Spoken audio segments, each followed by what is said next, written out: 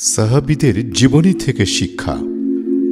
মহান প্রতিপালক আল্লাহ রাব্বুল আলামিন মানুষকে আশরাফুল মাখলুকাত করে পৃথিবীতে পাঠিয়ে জীবন পদ্ধতি হিসেবে কোরআন দান করেছেন।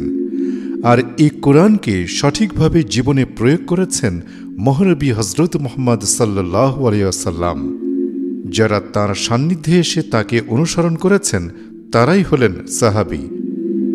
সাহাবিদের সম্পর্কে মহানবী হজরত মোহাম্মদ সাল্লাহ সাল্লাম বলেন, আমার সাহাবিগণ তারকার নেই তোমরা যারই অনুসরণ করবে, হেদায়েত প্রাপ্ত হবে।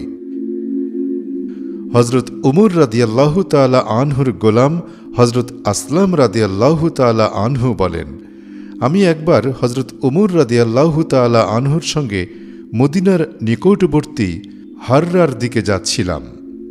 হঠাৎ মরুভূমির এক জায়গায় আগুন জ্বলতে দেখা গেল।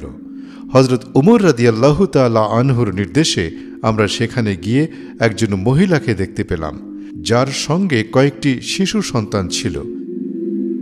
বাচ্চাগুলো কান্নাকাটি ও চিৎকার করছিল।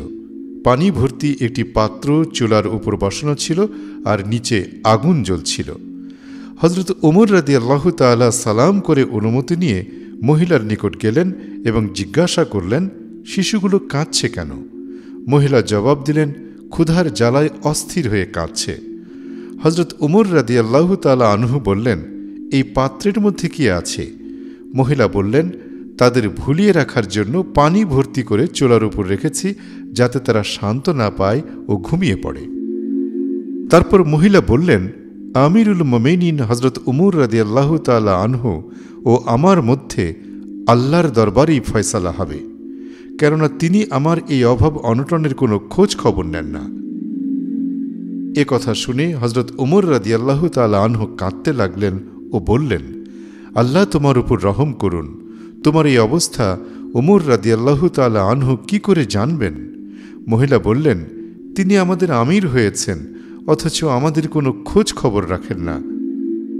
হজরত আসলাম রাদি আল্লাহ তালা আনহু বলেন ওমর রাদি আল্লাহ তালা আনহু আমাকে নিয়ে ফিরে আসলেন এবং বাইতুল মাল হতে কিছু আটা, চর্বি, খেজুর, কিছু কাপড় ও দীর্হাম নিয়ে একটি বস্তা বোঝাই করলেন এবং আমাকে বললেন, এটা আমার কোমরে উঠিয়ে দাও। আরজ করলাম, আমি নিয়ে যাব। তিনি রাজি হলেন না।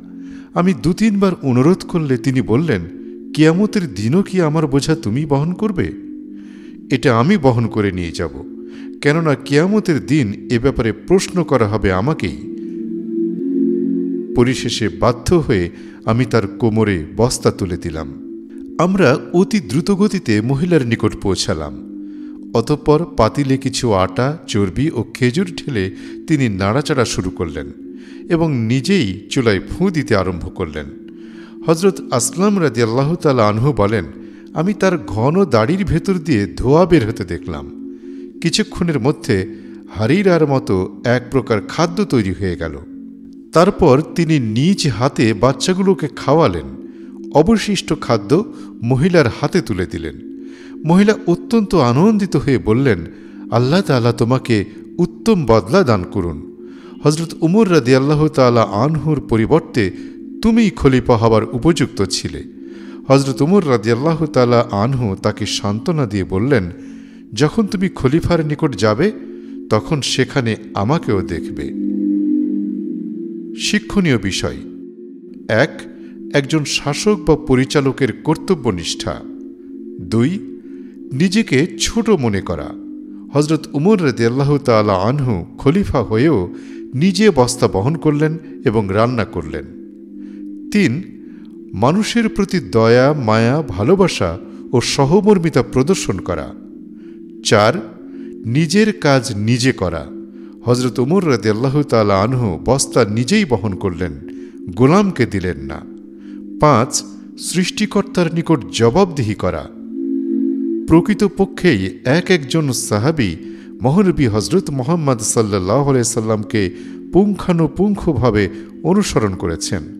জীবনের প্রতিটি ক্ষেত্রে তারা অন্যের কল্যাণের কথা চিন্তা করেছেন। এমনকি জীবনের অন্তিম মুহূর্তে অন্যকে পানি পান করিয়ে নিজে শহীদ হয়েছেন। তাই সাহাবিদের জীবনের প্রতিটি অধ্যায় আমাদের জন্য দিক নির্দেশনা স্বরূপ। মহান রাব্বুল আলমিন আল্লাহ তালা আমাদের সকলকে তাদের জীবনী থেকে শিক্ষা লাভের তৌফিক দান করুন। আল্লাহুম্মা আমিন।